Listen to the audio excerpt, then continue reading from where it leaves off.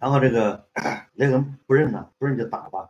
打的雷恒承认了，确实是就是去打砸抢，破坏人家直播。好，那个白秀英也很厉害，那个雷恒人家后来在那个县里面，对吧？那是刑警队长，所以认的人多，大家都给他说情，但是没用。说那个白秀英就在那个县县令那儿待着，坐着就是现场办案，督办督办这个大案就不走，是吧？谁来说情都没用，他就在在那坐着，一直到搞到什么程度呢？搞到把这个雷恒抓了之后啊，让他认了之后要示众，怎么示众呢？到这个白秀英那个 KTV 门口，要把他衣服扒了，穿个就穿个裤衩绑着在那儿，跪在那儿示众。那你说说这个对雷恒羞辱很大，然后就把雷恒带到那个白秀英的 KTV 门口，也就但是那个因为那些人都是雷雷恒的同事啊，不愿意把事做得太绝啊，就是糊弄一下，意思一下就完了，把雷恒绑在那。结果这个白秀英不干，白秀英他监督执行啊，是吧？在他 KTV 门口，他就跑到那个一个小饭店，把那几个执行的人叫来，他说啊，我也知道你跟他是同事，但是你不能枉法，对吧？这个判的是就让他在这儿要把衣服扒掉，你你们不扒他衣服啊，这就是枉法，枉法你们等着，我马上投诉你们，去县令那告啊。如果你严格执行，啊？我有奖励，呃，一个人发一两银子，多少银子啊？反正给钱，对吧？你得去按照这个判决书执行，你不能枉法。那些人一看没办法，这他妈你要你要不按判决书执行，他就到县县法院那一告，他就完蛋了，他下场跟雷恒人一样。哎，如果执行了呢，那那还有钱拿，所以这些人就不管了，跑去跟雷恒说，不好意思啊，哥们儿，不是我不帮你，确实现在这个没办法，所以把那个雷恒衣服扒了，在那个 KTV 门口绑着。哎，这个白金英他有面子，他在直播，你看来看看看，对吧？在这捣乱的，你看看现在砸场子的，绑衣不给钱的，不给钱。下山就是这个，是吧？然后这个好，结果巧了，雷恒他妈来给雷恒送饭，一下看见，看见雷恒这个惨样。雷恒后来也是从小对吧，一步一步的爬上来，完了在县里面也是有头有脸的人，现在被绑在那跪在那，完了衣服还扒了，穿个多穿个短穿个内裤啊，是不是啊？所以这个雷恒他妈就气坏了，就就骂这个骂那些绑他儿子的。绑雷恒的这些人，还说你们怎么对吧？这么都是同事，有必要这么干吗？是吧？那那呃，睁着眼闭着眼不行吗？非要做的这么啊过分？然后这些人就说了，这这这大大大妈，你不知道啊？这个我要不这么干，我的下场跟他一样啊！这个这里面白秀英啊，他们要求这样干，的天天在这看着的，是吧？我不这么干，他告诉县老爷，我们就完了，完蛋。然后这个雷恒他妈就骂，正好白秀英出来，这他妈就骂白金这个婊子，的吧？你是千人骑万人踏，什么什么，对吧？啊，骂。然后那个白秀英也骂他，对吧？两个人骂。两人骂急了，那个白金就一拳把他妈打倒了。哎，这个时候雷恒一看他妈被打倒了，这也受不了了。他不是手上不带着夹的吗？然后一下，反正也巧了，就把那个白金呢脑袋开了瓢，当时就死了。这一下就出命案了嘛。马上这些人就把那个雷恒就逮到县令那儿去，这首告啊，赶紧去。完了，这个这个这事实很简单嘛，对吧？你把是人打死了，然后那个白玉桥啊，那就监督这个县令办案呢，一定要让这个雷恒判个死刑。但是这个那雷恒的那同事都给他。求情了，毕竟是一个在一个县里干了很长时间，都给求情。这个县令呢，他也觉得雷恒不至于死，他他也这么，他也不想得罪人。但是呢，这边那个白玉桥啊，天天督促他，也闹得不行。而人家也说了，人家往州里告，冀州府啊，已经告上去了。那这个县令也不知道这个白秀英呢，到底说了多少人，对吧？后面还有没有后台，谁也不知道了。哎，多一事不如少一事吧，他就拖拖两个月，拖两个月之后，他把他送到冀州府，就让让冀州府去判，死活让你判决，然后把这个案子往上移交。这个雷恒呢？关到死牢里面，正好不就归那个朱同管吗？朱同不是刚提升那个叫什么两院阶级嘛，就是管牢房的嘛。朱同一看这都是同事啊，那就照顾他，对吧？给他吃的喝的，给他搞一个单间，而且跟雷恒说啊。他想办法看能不能把他弄出去救他，有办法他就救，他就是也想办法，因为他知道啊，这个雷恒送到冀州府估计就要死啊。正好这个雷恒他妈又到牢里来送饭，他妈就找这个朱仝啊，他妈也接着约让朱仝帮忙，说这个如果雷恒啊，呃活不了，那我这一个人我也活不了，大概就这意思吧。你们两人是同事啊，情同手足，在一起工作这么多年，他就搞道德绑架了，就是你你不帮他，没人帮了，然后这个老太太就要给这个朱仝下跪什么的，求朱仝。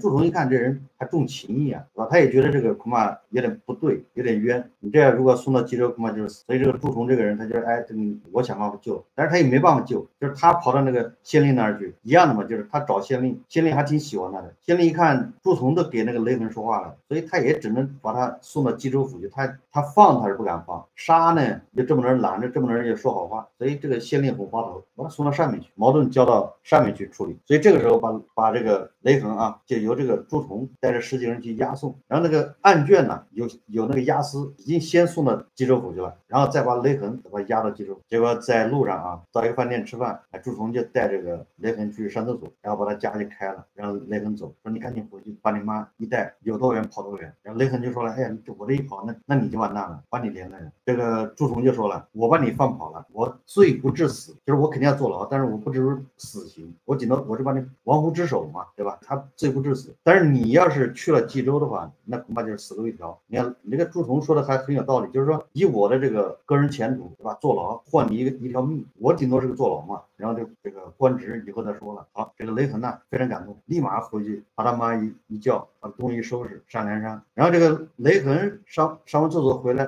跟那小兵说，哎呀，不好了，雷横跑了。那小兵就说，那赶紧回去报官呢，赶紧回去告诉这知县。所以他回去告诉知县，那知县就把朱仝抓住了嘛，就对吧？下了你这个，你居然把犯人这么重要的犯人你给搞跑坐牢。但是知县还是比较喜欢这个朱仝的，也没有太为难，也给他赐配沧州。据说就是判了两年不到，一年。一年多不到两两年以后，他就是他又回来可以当他的都头，或者就是两院什么夹击阶级啊。好了，朱仝就到了这个沧州啊。结果那个沧州知府一看朱仝，哇，可这胡子这么长，都到了肚脐眼了，你知道吧？帅啊，酷，你知道吧？比那个车臣的那个卡德罗夫胡子还长，大胡子嘛。说知府一下折服了，然后知府就问这个朱仝说：“你为啥把这个雷横放了？”朱仝当然不能承认说我故意放的，对不对？他那时候他还在装啊，他说不是我不放，我是他就把故事讲了一遍，我我我我被他弄晕了，然后他跑了。还是这意思吧，但是这个知府也很，知府是个聪明人，对吧？你我操，你们十几个人，你让他跑了，怎么可能呢？还不是你放的吗？但是如果说他故意放的，那你这个罪不就大了吗？对不对？他是那个知县给他判的是舒服嘛，对吧？是不是路上被被被雷横给他打晕了或者怎么着的，对不对？雷痕跑了，责任在雷痕，不是他放的。你要放的，那你是故意放的，那不是罪更重嘛，对吧？所以这个朱仝就到哪儿都说，哎，我我我是给他打晕了。但是这个知府心知肚明，他就觉得这个雷横这个。呃，朱仝这个人非常重义气，对吧？为了自己这个曾经那个同事，他宁愿自己坐牢，把人给放了。知府是觉得他很重重义气，加上这个人长得胡子长，长得不错，就就有心啊，把他留在自己的跟前，就不要送到牢房里去坐牢了，就在自己帐前听用，就给自己当个当个秘书啊，当个手下。哎，这就他就不用去牢房去服役，这样干个两年，他就前头就刑满释放，对吧？那个就像那个梁中书啊，让杨志啊在他帐前听用，一个道理啊，都一样的。结果那个知府的小。衙内啊，那小孩四岁，很可爱。跑出来之后，他也喜欢这个朱仝的胡子，好长，你知道吧？然后他就他就要这个朱仝抱，完了之后他就跟朱仝玩。哎，那个知府一看这小孩这么喜欢朱仝，哎，这这样父子俩都喜欢，然后就就让朱仝啊带这个小衙内玩。有一天晚上呢，不是正好是看灯嘛，然后这个小衙内要去看灯，然后就让这个朱仝带着抱着他，哎，去看灯。结果吴用、雷横，这个应该是戴宗吧，还有一个就是李逵，几个人到了这个沧州，这就是朱仝。啊，厄运来临，这恶魔啊！已经接近朱仝，朱仝还不知道，就是正在在那个河边看灯的时候，雷横突然出现了，拍这个朱仝。哎，朱仝一看，喂，你怎么在这儿呢？你不是跑了吗？你在这儿多危险呢！结果那个雷横就说，哎，没事。然后那个朱仝就问了，你怎么跑来干啥？那个人就跟他说，哎，什么怎么怎么这个那个的啊？说请你上梁山，对吧？说这个宋头领，哎，朝头领都觉得你在这儿坐牢不好，不如上梁山算了。哎，这朱仝不干，朱仝不愿意上梁山，就跟那个雷横当年不上梁山，梁山是一样的啊。他说我这个我我再坐一年半的牢，我就自由人了，我又去可以当这个都头啊，或者是阶级。而且他在那儿坐一年半牢，又不是坐牢，对吧？他在这知府在那儿服役，对吧？他也不累，风吹不着，雨淋不着。他他是带小孩儿，当个保姆呢，多轻松啊！所以他肯定不干啊。他说我我去当什么土匪啊？结果啊，就趁他在这说话的时候，那小孩被李李逵给弄走了。李逵给小孩弄了这个迷药啊，把他弄晕了，带走了。然后这个朱仝就回头一看，哎，找小孩找不着。后来他们就就就逗这个朱仝，对吧？小孩在什么地方？在什么地方？那那朱仝就跟着后面找，找到一个树林里面。哎，看小孩坐在那树下面，他跑过去一看，小孩脑袋已经被这个李逵砍成两半啊！这朱仝气坏了，然后就追啊，结果他们就跑，最后就追到柴进庄上嘛。朱仝就进去了。哎，柴进这时候，柴进这个人也很糊涂啊，这恶魔也到他们家了，他也不知道，他还搞不清楚，他还帮宋江去忽悠朱仝。他说，哎，他就跟朱仝说这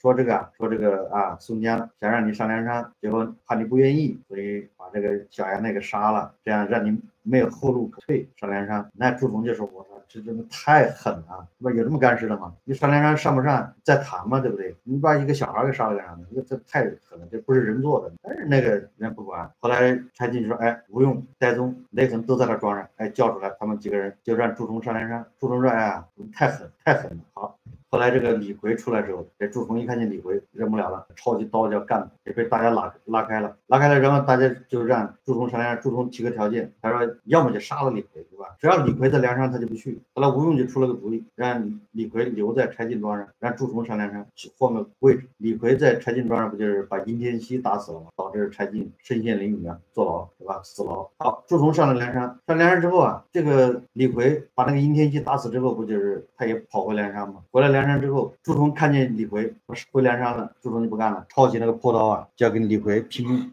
李逵就抄起板斧，两个人就要干。这时候宋江跟晁盖就把他拦开了，哎，然后宋宋江啊，这时候晁盖也在，我很有意思啊，晁盖一句话都没有，不知道晁盖是怎么想的啊？晁盖估计心想：他妈的，李逵把朱仝干死也挺好，朱仝把李逵干死也挺好，反正都不是我的人，对吧？你们就火并嘛。所以这个晁盖一句话没有，都是宋江在说。宋江拦住了，说别别打别打，说这个他说朱仝啊，他让这个李逵你给朱仝赔礼道歉。李逵说凭什么给他赔礼道歉？他算老几啊？哎，你不不就是说他救了你和朝天王吗？我在梁山，我立了多少功劳啊，对吧？劫法场不是我劫的吗？对吧？我功劳比他大得多，我给他这个啊赔礼道歉，他算什么？李逵，这是李逵说的啊。这个宋江就骂李逵，说啊你这个啊你这个不对，这个然后他就跟朱仝说，说你也不要生气，这个也不是李逵要杀，主要是李逵啊，这个是吴用军师啊让李逵杀的。你看这宋江都坏了，他把这责任推到吴用头了，还是吴用让他杀的，这个宋李逵也没办法啊，就只能这样。所以你不要恨李逵，那意思就是你恨吴用吧，对吧？这是这是吴用的主意。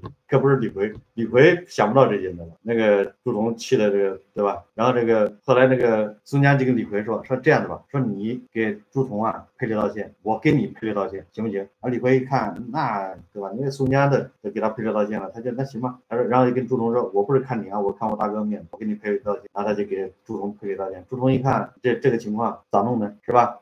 朱仝也就没脾气了，一点脾气没有。然后这个晁盖就。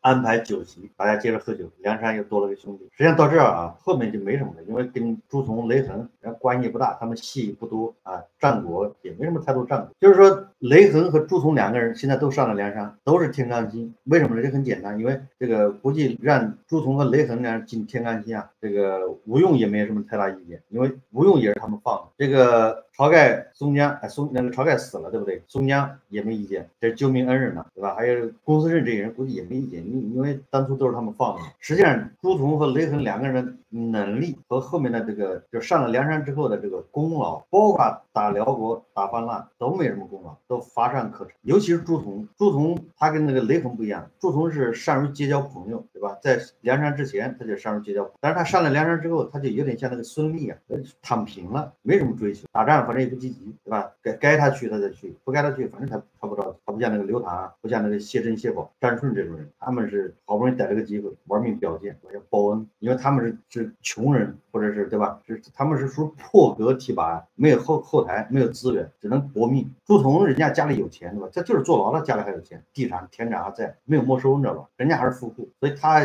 他也退路。躺平了，所以在梁山没什么表现。雷横还是有这个追求，对吧？恐怕雷横就因为他他就是他也是没后台，一步一步打拼出来的。所以上了梁山之后，他也想表现啊，事事也想露头，抢一些军功。这个雷横的品行啊，宋江给他定义过。这个朱仝和雷横俩，就是刘唐啊，到郓城县不是给他们送礼吗？感谢他们，送黄金。然后那个宋江就发现这个谁他妈的不地道，想害他，对吧？他让刘唐赶紧回去，他拿了十两黄金嘛，剩下的给他赶。刘唐带着带走，刘唐说：“我还要给那个朱仝送，还要给雷横送。”那宋江一听，完了，你这他妈这还你还嫌目标不够大是吗？对吧？害怕不抓你是吗？所以说啊，说你赶紧回去吧。说朱仝啊，他不在乎钱，你给他没用，他不在乎钱，你给他多少他不缺钱，他不要这个。他说雷横，你你给他多少都不够，知道吧？就是雷横啊，你给他多少他不够，说不定还嫌少，你还不如不给他，让刘唐赶紧你就回梁山吧。这个这两人都不要送了，一个是一个是你给不给他他就那样，一个是你给了他也嫌你少，是吧？就是说明这个雷横这个人就。贪财要钱收钱嘛，到哪都要收钱，要不跑到梁山收钱呢？收一包钱会。这个人就是就是他，这是松江给他的下的这个定义啊。这个雷横这个人啊，你要跟朱仝一比，因为他俩人最有可比性嘛，其他人没得可比。这俩人一比，你就发现雷横这个人跟朱仝呢，就确实是天壤之别。朱仝这个人就更像这种对吧好汉。你你纵观他在上梁山之前和上梁山之后以及后面，他没有什么干什么伤天害理的事，对吧？他他也他他给那些好好汉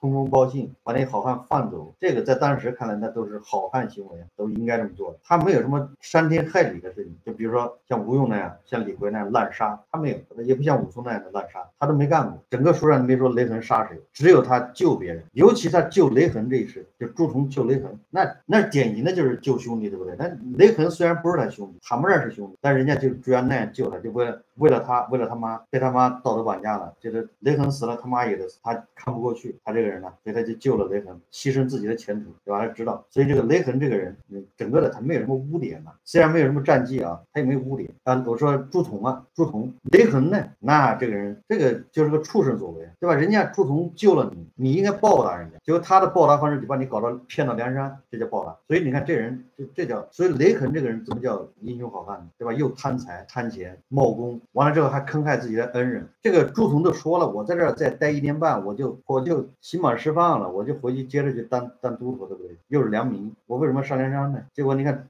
雷横为了让他上梁山，配合这个吴用来骗他，结果把小杨那一个无辜的人，一个小孩啊，给他杀掉，砍成两半，对吧？所所以说就是啊，吴用、李逵这种人那是恐怖分子，对吧？不说了。雷恒这个人，你说从这儿就可以看出这个人人品，他是利己精致的利己主义，非常自私自利，就是为了自己。他真的是为朱仝好吗？不是的。如果朱朱仝要被砍头，对吧？像这个柴进一样啊，或者是像雷恒本人一样，你去就要被砍头，那你救他是应该的，对吧？你把你从这儿救出去，人家不是的，人家好得很，他没有想上梁山的意思，而且他也没有受什么压迫，各方面都敬重他，都觉得他这个人很讲义气，重义气啊，大家都在保护他，包括那个县令，包括那个沧州的知府，都保护他嘛，都敬重他的义气，你知道吗？觉得这个人能为同事啊，对吧？甘愿自己坐牢，这种人值得这个尊敬啊，所以给他都是轻判，对吧？给他最好的活，就是最好的安排。结果你看，你救的对象，嗨，后来在梁山，朱仝和雷横两个人，因为他俩人都是郓城县的，对吧？他们呃有这层关系啊，那他们基本上都是打仗的时候两个人一起打张青的时候，孙家是问谁上，这时候雷横和朱仝两个人一起上，一起上那个张青一世子先把那个雷横把鼻子打歪了，把鼻子打了，然后又一世子把那个朱仝的这个胸吧打入胸了还是什么下面还是喉咙啊，总之这个这两个人都挨揍了。后来真聊的时候也有一些表现，但是都不大，跟他们天罡星的这个身份呢，呃相比，他们取得的成绩啊，这可以忽略不计。后来雷横是怎么死的呢？